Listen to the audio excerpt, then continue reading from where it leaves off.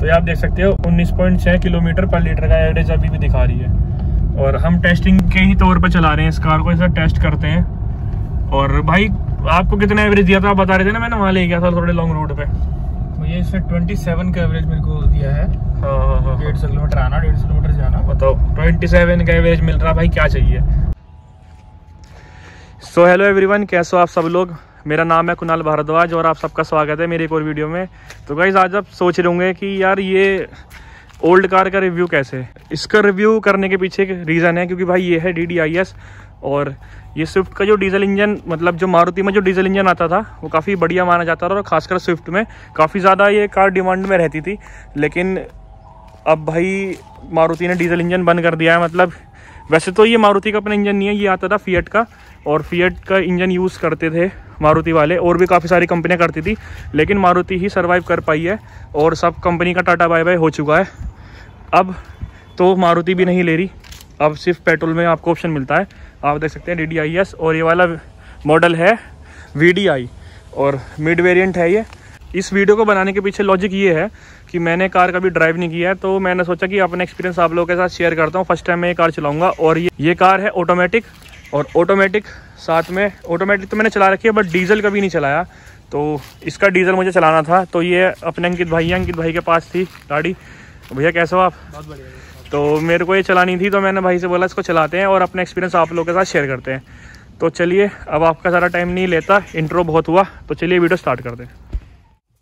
तो भाई साहब कार के अंदर मैं बैठ चुका हूँ और अभी मेरे से गलती हुई थी। गलती क्या हुई थी? मैं उल्टे पैर से मैं मारा था ब्रेक, जो काफ़ी गलत बात है। तो एक काम करते हैं, एक वीडियो और बनाएँगे।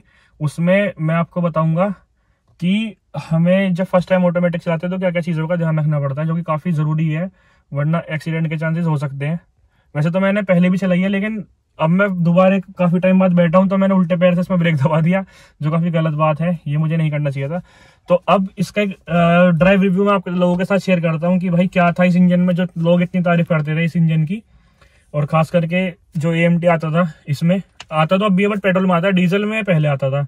तो चलिए अब इसको स्टार्ट करते हैं। भाई सीट बेल्ट ज़रूर लगा लेना, और ब्रेक दबा के होगी स्टार्ट ठीक है।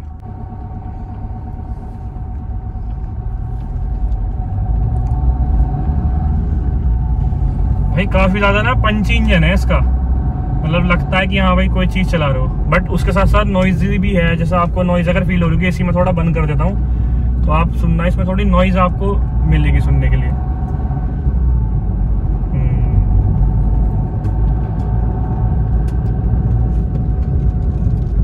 तो जैसे मैंने ये ब्रेक मारा है तो अपना आप डाउन शिफ्ट कर गया।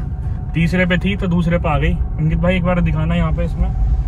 अभी दूसरे पर आ गई है। और जैसे ही मैं इसको थोड़ा हार्ड एक्सलेट करूँगा हार्ड करते ही ये अपने आप गियर चेंज कर देगी। और गियर चेंज करते आप, आपको महसूस होगा कि इसमें गियर चेंज हो रहे हैं।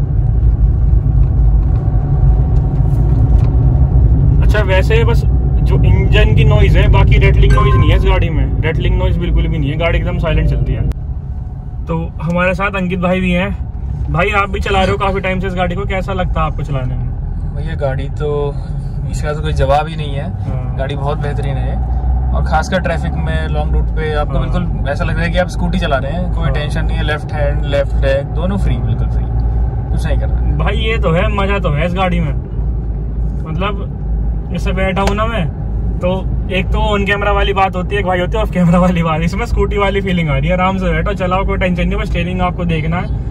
और सामने से ट्रैफ़िक का ध्यान रखना है। बस थोड़े ब्रेक है ना इसके। ब्रेक थोड़े इसके मतलब बढ़िया से मिलते हैं। जैसे दबाओगे गाड़ी एकदम रुक जाएगी। और लेफ़्ट लेग से तो यूज़ ही मत कर लेना, क्योंकि लेफ़्ट लेग से क्या करते थे हम? लेफ़्ट लेग से क्लच दबाते थे तो क्लच की आदत पड़ रही है। तो वो एकदम हार्ड प्रेस हो जाता है उससे। बस थोड़ा नॉइजी इंजन है इसका। बाकी तो एकदम मस्त है, कोई दिक्कत नहीं है। अच्छा भाई इसको एक बार मैनुअल पे भी चला के देखेंगे। इसमें मैनुअल पे। यहाँ से लग जाता है ना मैनुअल इसका। हाँ। बाकी भाई पूरी जो फीलिंग आ रही है ना एकदम मस्त आ रही है ये देखो। सामने था मैंने एकदम ब्रेक मारा एकदम फ़र्स्ट पे आ गई और इसमें एक चीज़ हो रहा है जैसे मैंने ब्रेक दबाया और ब्रेक को छोड़ा। तो ये अपने आप चले जा रही है, चले जा रही है आगे तक। तो वो मुझे अगर रोक के न्यूट्रल ही करनी पड़ेगी पूरी, जब जाके कार रुकेगी। सस्पेंशन तो भाई, पहले से इसमें सॉफ्ट आते हैं स्विफ्ट में, और आज भी सॉफ्ट ही आते हैं। अभी मैंने थोड़ा हार्ड प्रेस किया था तो थोड़ी नॉइज़ आपको ज़्यादा मिली होगी इसमें। बट एक बात है, जो मैनुअल में मज़ा है ना, वो ऑटोमेटिक में नहीं आ सकता। फिर भी इसका एक बार, इसका जो मैनुअल है, वो टेस्ट करके देखेंगे कि कैसा है। आगे से इधर से घुमाऊं? या आगे से? आगे से घुमा लाता अब तो पूरा बैठ गया, हाथ कोई दिक्कत नहीं है। तो उसका स्टेयरिंग है ना भाई? स्टेयरिंग भी काफ़ी मतलब काफ़ी तो स्मूथ नहीं है। आजकल गाड़ी आ रही है, उनका ज़्यादा स्मूथ है। बट इसका भी ठीक है, और फ्लैट वाटर मिलता है। आप इसको एडजस्ट भी कर सकते हो। तो आज भी जो आ रही है स्पेसिफिकेशन तो आज भी सेम ही आती है स्विफ्ट में। बट जो इंजन था ना भाई, ये इंजन काफ़ी बढ़िया था और सबसे बढ़िया बात इसकी माइलेज की। माइलेज अभी की हम तो टेस्टिंग में चला रहे हैं। तो अभी भी उन्नीस पॉइंट छः किलोमीटर पर लीटर का दिखा रही है। भाई एक बार दिखाना इसमें एमआईडी में। तो ये आप देख सकते हो 19.6 किलोमीटर पर लीटर का एवरेज अभी भी दिखा रही है। और हम टेस्टिंग के ही तौर पर चला रहे हैं इस कार को, ऐसा टेस्ट करते हैं। और भाई, आपको कितना एवरेज दिया था आप बता रहे थे ना मैंने, वहाँ ले गया था थोड़े लॉन्ग रूट पे। ये इससे 27 का एवरेज मेरे को दिया है। हाँ हाँ हाँ डेढ़ सौ किलोमीटर आना डेढ़ सौ किलोमीटर जाना। बताओ 27 का एवरेज मिल रहा भाई क्या चाहिए? यार सरकार यार पंद्रह साल तक कर देना तो डीजल जैसी गाड़ियाँ नहीं हो सकती। जो डीजल में बात है ना वो किसी में नहीं है। हाँ, अब बताओ सी अगर हम चलाते हैं तो एक तो यार मर मर के चलेगी। वाइब्रेशन बहुत होती मिलेगी उसमें ठीक है? कोई भी गाड़ी ले लो आप जो आजकल की आ रही है ना भाई वो कोई भी गाड़ी ले लो।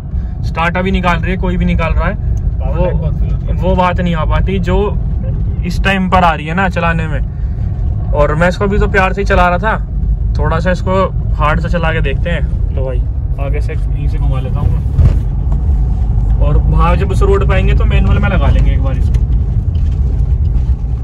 अब कितना आसान है, देखो। अब मैंने दबाया ब्रेक और एकदम पहले पा गई। लेकिन कुछ लोग एक गलती करते हैं। वो गलती ये करते हैं कि स्टार्टिंग से ही मैनुअल गाड़ी ले लेते हैं ऑटोमेटिक वो चीज़ गलत है, क्योंकि अगर आप एक बार आपने अगर मैनुअल चला ली ना तो फिर आप ऑटोमेटिक जल्दी सीख जाओगे। लेकिन अगर आपने ऑटोमेटिक से चलाना स्टार्ट किया तो मैनुअल में आगे ले तो भाई आप भूल जाओ, बहुत टाइम लगने वाला है, बहुत परेशानी होने वाली है। क्योंकि इसमें तो कुछ नहीं है, बस आपको रेस पेडल दबा के रखना ब्रेक का ध्यान रखना है।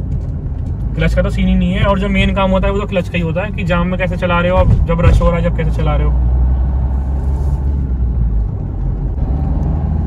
तो भाई, एक चीज़ मैंने भी इसमें नोटिस की है, अगर आप थोड़ा हार्ड इसका मतलब रेस पेडल एकदम थोड़ा हार्ड दोगे अग्रेसिव सा दोगे ना, उसका मतलब एकदम दबाओगे तो उस टाइम पर ना, ये जो गियर चेंज करेगा, वो हाई आरपीएम पे करेगा। लेकिन अगर आप इसको एकदम प्यार से चलाओगे तो ये लो आरपीएम में ही चेंज कर देगा। अभी दो हज़ार इसने कर दिया। और जब मैंने हार्ड एकदम इसको प्रेस किया था तो उसने 2000 से ऊपर में किया।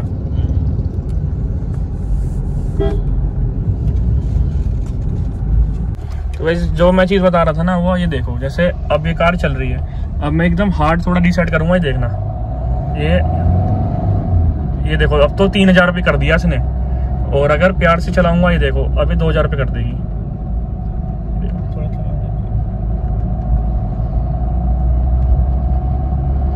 ये देखो, दो हज़ार रुपये कर दिया।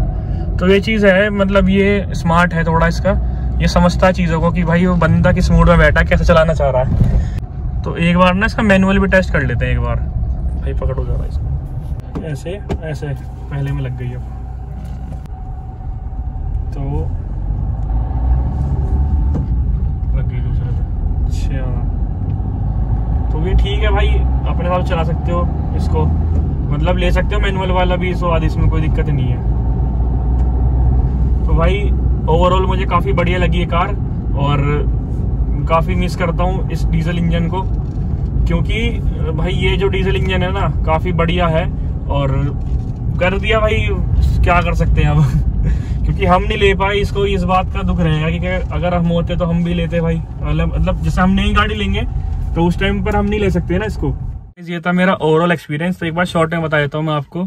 जो डीजल इंजन है ना, काफ़ी बढ़िया है, चलाने में काफ़ी मज़ा आता है इसको, और अगर ये प्रॉपर मैनुअल होती तो और मैं बता पाता आपको बट थोड़ा ऑटोमेटिक का क्या रहता है ना ये थोड़ा अपने हिसाब से भी चलती है। और अभी एक और वीडियो बनाते हैं उस वीडियो में मैं आप लोगों के साथ शेयर करूँगा कि जब फ़र्स्ट टाइम ऑटोमेटिक कार चलाएँ तो क्या क्या चीज़ों का ध्यान रखना चाहिए? और अंकित भाई भी साथ में है इनसे भी पूछेंगे भाई से दूसरी वीडियो में भाई को भी लेंगे।